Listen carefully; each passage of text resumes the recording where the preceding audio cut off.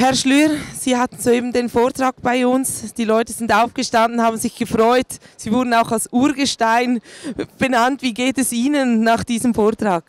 Mir geht es sicher gut. Ich meine, es ist immer angenehm zu sprechen, wenn man den Eindruck hat, das Publikum versteht einen, es macht mit, es reagiert.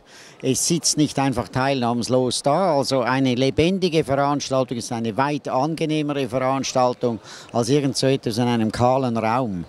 Ja, genau. Und Sie haben ja so gesprochen, dass man Sie verstanden hat, oder? Ihr Vortrag war ja über diese Terminologie unter anderem, wo vertuscht wird, wo nicht Klartext gesprochen wird. Wie können sich jetzt die Menschen darüber, ähm, wie, wie, wie können sie wissen, was falsch gesprochen wird? Wo könnte man da etwas nachschauen?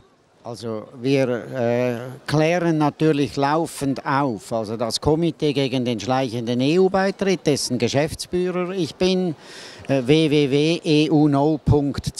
Dort äh, hat man reichhaltige Dokumentation. Wichtig ist aber auch, dass die Leute sich auf ihr Gefühl verlassen. Es haben heute sehr viele Leute das Gefühl, da stimmt etwas nicht mit diesem Umgang, mit dieser Politik gegenüber der Europäischen Union. Und man kann einfach jedem sagen, achten Sie auf dieses Gefühl. Schauen Sie auch hinter die Kulissen, versuchen Sie zu beobachten, was da, was da geschieht. Dieses Gefühl ist möglicherweise ein besserer Ratgeber als zehn Zeitungsartikel. Und man muss auch nicht Doktor sein, oder? Das kann jeder.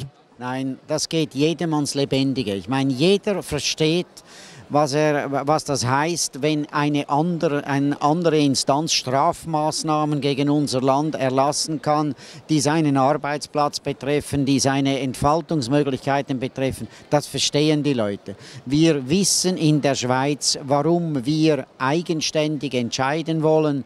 Ich glaube, wir verhalten uns auch so, dass niemand daran Schaden nimmt, aber wir verlangen, dass wir respektiert werden als ein Land, das eigenständig entscheidet, wie es seine Zukunft gestalten will.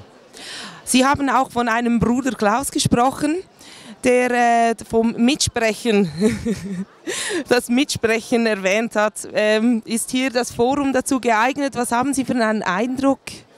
Also Bruder Klaus, es gibt nur den Bruder Klaus. Das ist ein katholischer Heiliger aus dem Frühli Rampft in Obwalden der aber für die Eidgenossenschaft in ganz wichtigem Moment von ausschlaggebender Bedeutung war.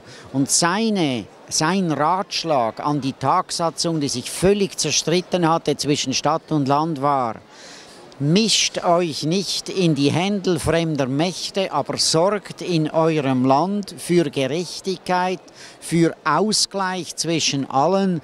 Und daraus ist natürlich gewachsen, dass man auch alle mitsprechen lässt. Das ist eine Weichenstellung.